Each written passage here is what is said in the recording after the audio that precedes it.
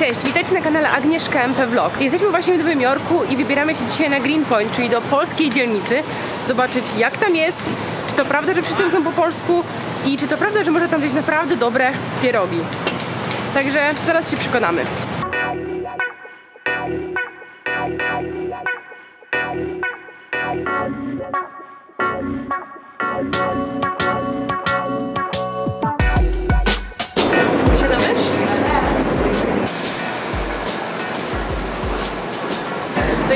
I co? Już spotkaliśmy dwóch Polaków, także swojsko.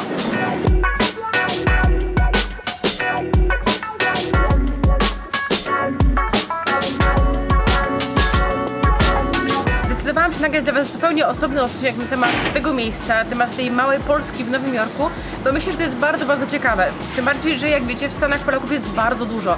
Ja mieszkając w Zurychu mogę powiedzieć z całą pewnością, że u nas nie ma czegoś takiego, y, nie uświadczycie polskiej dzielnicy. Oczywiście w Zurychu Polaków jest bardzo dużo, ale jakby mm, nie łączymy się wszyscy w jednym miejscu i nie tworzymy takich dzielnic. Natomiast e, jest e, bardzo ładny i z pewnością będąc w Nowym Jorku warto tutaj przyjechać, zobaczyć i przede wszystkim przyjrzeć się temu, jak Polacy żyją na obczyźnie, jak tworzą swoją malutką ojczyznę w innym kraju. I to tak bardzo oddalonym od Polski. Wszystko się zgadza. Zobaczcie w szpitalu tutaj na Brooklynie, e, na Greenpoincie języki angielski, polski hiszpański. Także jesteśmy z pewnością we właściwym miejscu. Wszędzie są ogłoszenia o pracę po polsku. To jest, powiem Wam, aż dziwne po prostu. dziwnie na to patrzeć. Ale idąc po ulicy usłyszycie bardzo dużo języka hiszpańskiego i zobaczycie dużo takich panów napakowanych z dziarami, którzy wyglądają dość niepokojąco, ale póki co byli bardzo mili dla nas. Ale jest tutaj bardzo dużo właśnie hiszpańskojęzycznych ludzi również. O, kurs języka angielskiego! Popatrzcie, popatrzcie. Nie kościół za mną.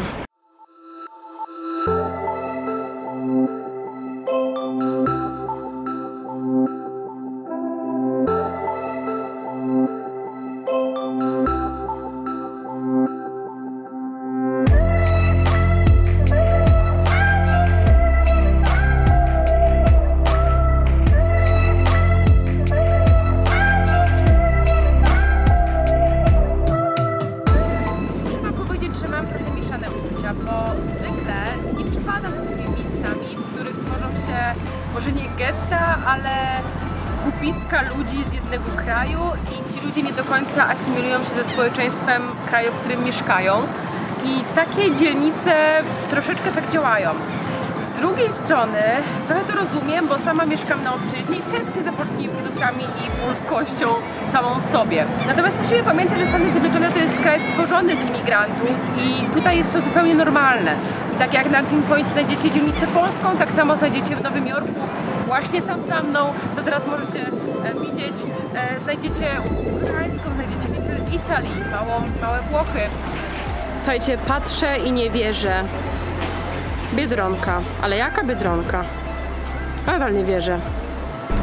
Podglądamy co ma Biedronka. Zobaczcie, żywiec cisowianka 79 centów. Żywiec smakowy 9,99 za e, sześciopak. No to całkiem dużo. Ale to jest duży sklep. To przywożą Polacy do Szwajcarii. Widziałam nie raz. Majonez kielecki. Zobaczcie, słodycze, soki. Boże, jakbym była w Polsce. Tylko ceny jakieś takie inne. Ja chciałam powiedzieć, że ponieważ ja mieszkam w Zurychu, dla tych, którzy nie, nie oglądają mojego kraju na co dzień, to taka informacja w okolicy Zurychu. I żeby kupić polskie produkty w Zurychu, to musicie jechać prawie 100 km do Niemiec, do rosyjskiego sklepu. Także taka ciekawostka. I tam naprawdę nie ma takiej ilości. To, co jest tutaj, to jest taki wybór, po prostu kupowałabym.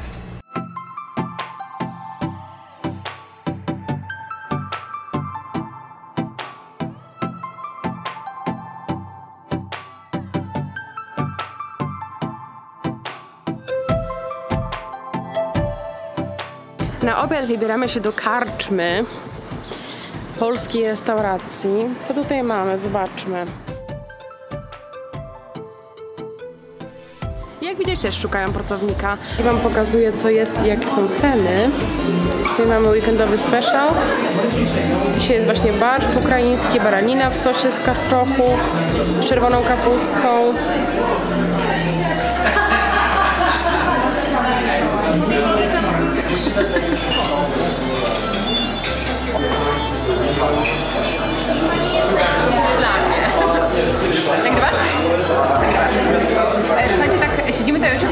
Zamówiliśmy dania. Ja zamówiłam talerz polskich specjałów, także za chwilę spróbuję bardzo wielu rzeczy mm, tutaj, które możecie dostać.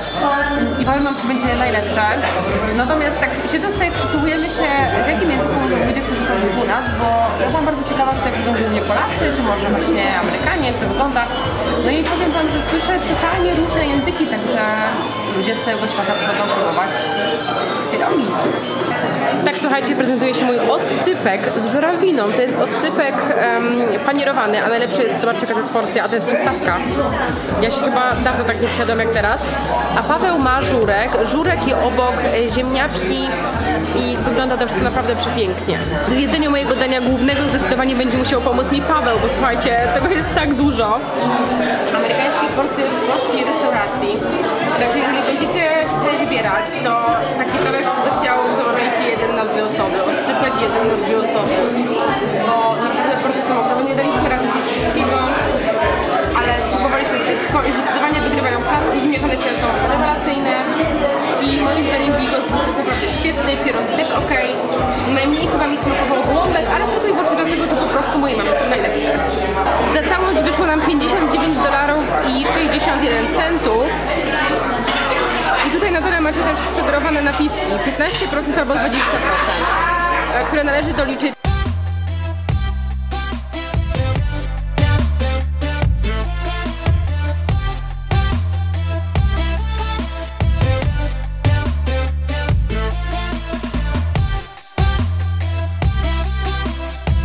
No to kończymy naszą krótką przygodę w polskiej dzielnicy, a w zasadzie przy polskiej ulicy, bo nie jest to tak naprawdę duże.